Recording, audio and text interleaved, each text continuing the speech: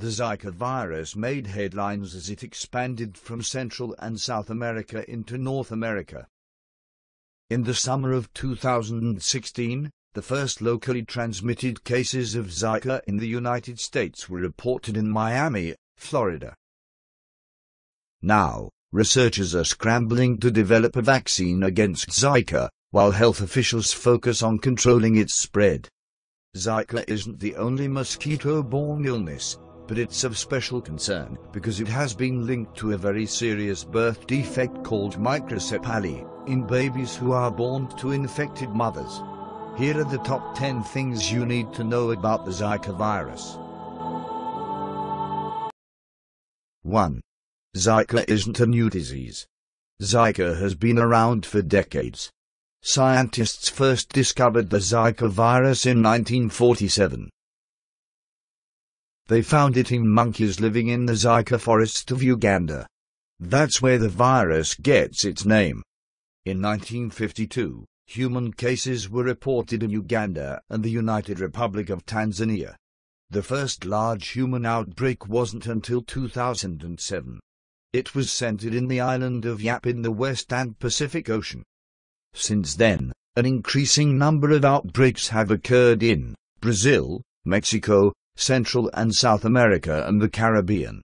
Most recently, Zika has been discovered in the southeastern United States. 2. Mosquitoes can spread the Zika virus. Zika virus spreads through the bite of infected mosquitoes. The Aedes mosquito spreads Zika virus. This species lives mainly in warm climates, including the southern United States, South America, and the Caribbean. The Aedes mosquito typically bites during the early morning and in the late afternoon to evening hours.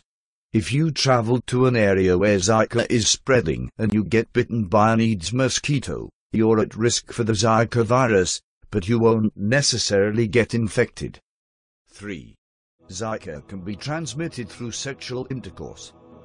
Someone who's been infected with Zika can pass the virus to their partner through sex. You may be contagious even if you don't show any symptoms. That's why it's important to either avoid sex or wear a condom for six months after you or your 4. You can infect other people if you've been infected. Once you're infected, you can infect other people. Zika isn't transmitted through a sneeze or cough, like other viruses. When you're infected, the virus lives in your blood. If a mosquito bites you, it can pass the virus to other people it bites. You can also transmit Zika by having sex. 5. Zika may be spread through a blood transfusion. It's possible to catch Zika from a blood transfusion. No one in the United States has gotten it this way, but there have been cases in Brazil. If you've traveled to an area with Zika, or think you've been exposed through sexual contact, you may need to wait to donate blood. 6. You may not have any symptoms. Only one in five people who are infected have symptoms. Symptoms may resemble the flu and can include joint and muscle pain, fever, headache, rash, red eyes or conjunctivitis. 7. A blood test can tell if you're infected. The only way to know for sure if you have the virus is through a blood test. The test looks for antibodies your body makes against the Zika virus. It can take a few weeks to get results and the results aren't always accurate.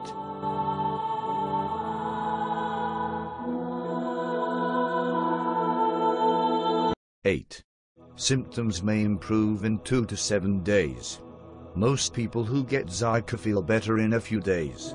The infection usually lasts for two to seven days. Then your symptoms will start to improve.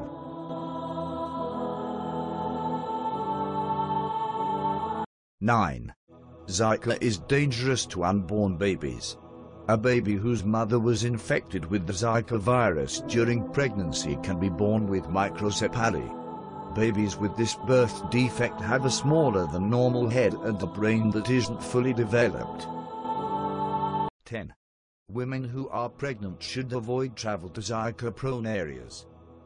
The Centers for Disease Control and Prevention recommends that pregnant women stay away from any areas where Zika has been found. If you have to travel to one of these places, protect yourself against insect bites. Thanks for watching. Don't forget to subscribe and share this video.